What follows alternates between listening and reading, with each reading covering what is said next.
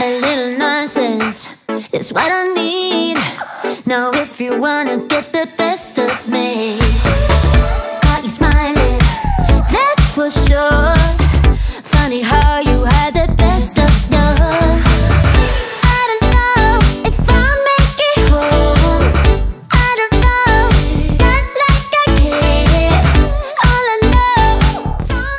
guys, welcome back to the channel. My name is Jason. We're back here at Corvette Warehouse and I'm super excited.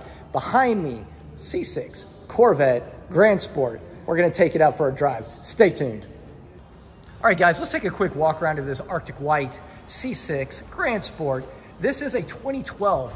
They made less than 12,000 C6s in 2012. It was like 11,600 and some odd uh, Corvettes. This one has 39,704 miles. It is 41,995. And I don't know what the color of the interior is, cashmere or we'll just call it tan for now since I don't actually know. But I am super excited about this C6. But I wanted to give you guys the numbers on it before we get out and go for a ride. So I'm also gonna show you real quick how to put the roof up and then back down. And then we're gonna go for a ride.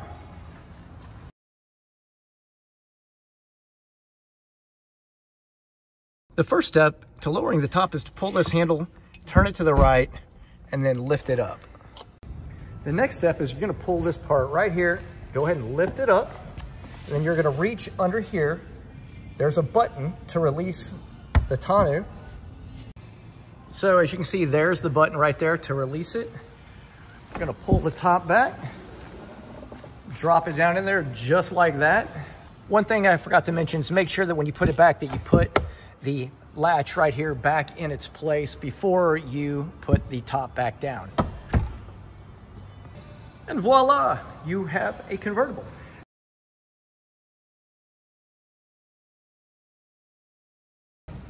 All right, so the first step is there's a button right up underneath here and we're gonna lift the tonneau. That button again, like I showed you before, is right there. And then the next step is we're going to pull the top out just like that. The whole piece, because again, the tonneau has to go back down. Bam, like that. We're gonna set the back down and the front forward. And then like we did earlier, you're gonna grab that latch right there. You're gonna pull it down, turn it, and then push it back into place and you are 100% done. You are good to go. That's it on the top. All right, so we are heading out in the C6. Very much a fan of this car. So I don't know if I, I've mentioned it in the past in other videos, but the C6 Grand Sport is the car that got me back in to Corvettes. Every single day, coming home from work, I would see a C6 Grand Sport that was uh, Daytona Sunrise or Daytona Sunset, I don't know which, but I would see that every day coming home from work, and I was like, I think I need a Corvette again. So that was the thing that did it for me. I love the little the way the vents look on the side. I love the wheels of the C6. Just such an amazing looking car. I like the Z06 a lot as well, um, but with the Z06, um, the, the one thing that I, I didn't care for was the way the vents and stuff were on the side. I just preferred the Grand Sport. I like both, but I just thought the Grand Sport looked a little classier. Now, of course, it doesn't have the horsepower that you were going to get out of the Z06, but sometimes it's not always about how fast your car goes. Uh, I mean, may, maybe to some other people it is, but for me it isn't. One of the cool things that I really like about this is being able to look around if you see how much how open this is you know i know my grand my uh, my stingray my c8 is convertible but you still have the two back sections right here that kind of uh, eliminate your when you turn you got your nacelles in the way and all that. For vision with this wide open wide open. So that's really cool. Uh, to me this is a purist convertible where the uh, C8 is more of a spider, I guess, if you want to call it that. I don't know if that would be the technical term, but that's what I'm to call it. But we're to cruise down here. We're to look for some areas to kind of drive in and uh, absolutely love, love, love the openness of this. Let me know what you guys think down in the comments. I will say, I haven't always been the biggest fan of convertibles that are soft top. I never really cared for the soft top. I had them when I was in high school, uh, many, many, many, many, many years ago, and uh, you know I got used to it. But they did come with you know some of their share of problems. I definitely can't speak to the C6. Um, that thing seems way better made than the ones that I was used to back in the day. Uh, but but nonetheless, it wasn't my first choice.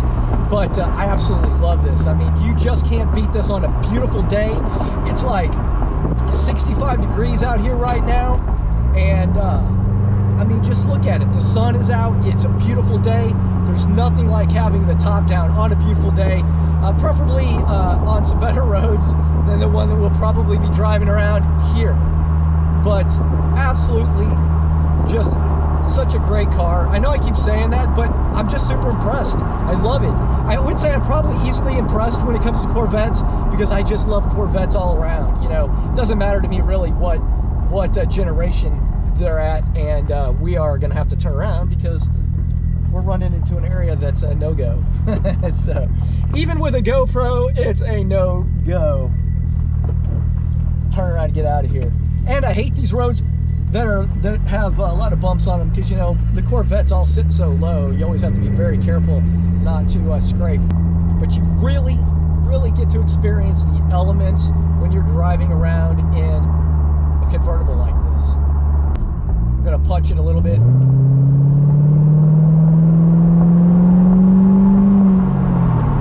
Not bad, you know.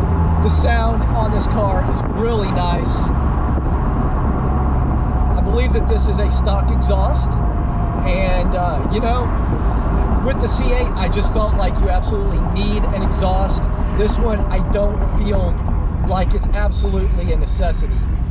So while we're talking on this video, I wanted to ask you guys, I know Steve and I have talked about doing some different videos with different Corvettes. And the great thing about Corvette Warehouse is they have a lot of variety. And that's awesome. Sounds great. so anyway, uh, they have a lot of variety. So Steve and I have talked about doing some videos with different Corvettes together.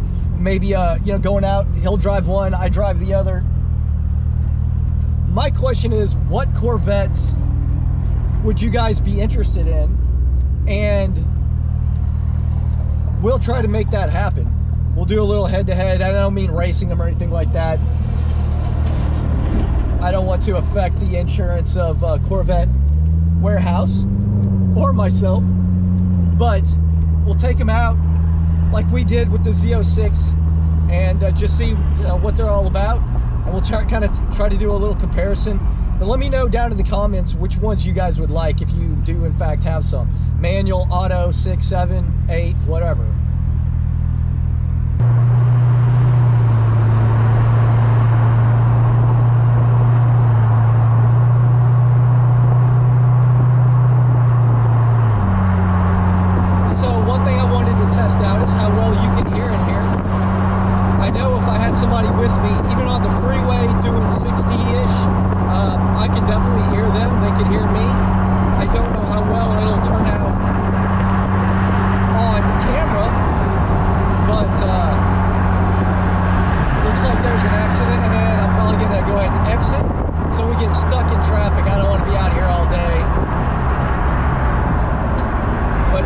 goodness, the open air is so nice. Now, I will tell you, this is the first time I've ever driven an automatic C6. So the only C6 I've ever driven was uh, Justin's Z06, his uh, Victory Red Z06, which I really like. Uh, one thing that I found interesting about it though is that one is manual, obviously being that it's a Z06 the clutch has much more give before it engages than my C7 does. So that was something that I had a lot of trouble getting used to. And then when I got home and got back into my Z06, I had trouble getting used to it, you know, getting back to that earlier engagement. So there's definitely a difference in the clutch on the six and the seven. So this is a great cruising car, man. Absolutely. Such a great Saturday, Sunday driver, especially convertible. I mean, really, that's kind of what I'm looking at on this is is the uh, the convertible part of it.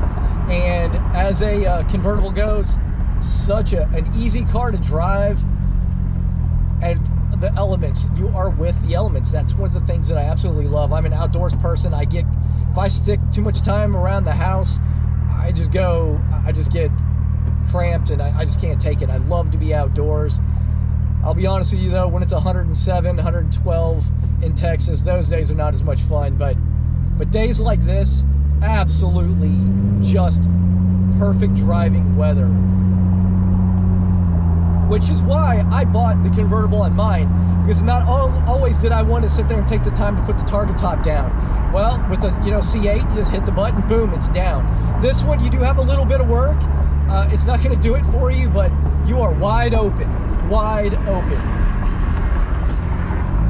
But let's look up a Taco Bell because I'm hungry. All right, so we're here at Taco Bell. I had to wash my hands. This would be a no. No way in the world I'm gonna be having a drink inside of uh, one of these bathrooms. So the other great thing about convertibles, it makes a great table. Love me some Taco Bell.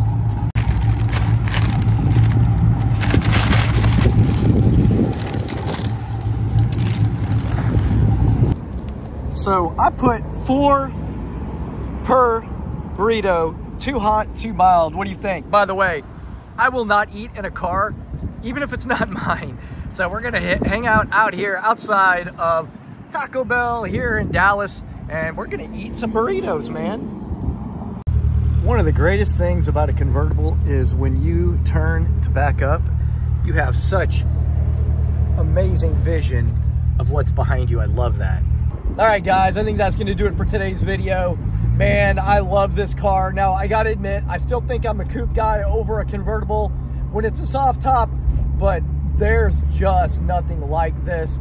Uh, you know, the great thing about Corvette is you can always pull off the top with most all of them anyway, and you're semi-convertible, but man, look at this. That is all about being a convertible, man. I love it, and uh, it's definitely a lot of fun, and I'm in the wrong lane, so I'm gonna pull up a little further. But uh, like I said, that's going to cover it for today. And uh, I hope everybody enjoyed this video. I don't want to say it was spur of the moment, but it was semi-spur of the moment. It was fun for me. Always a good reason to drive a C6, C7, any Corvette. Uh, but anyway, that's going to do it. Hope everybody enjoyed this. Have a great week. Thanks for watching.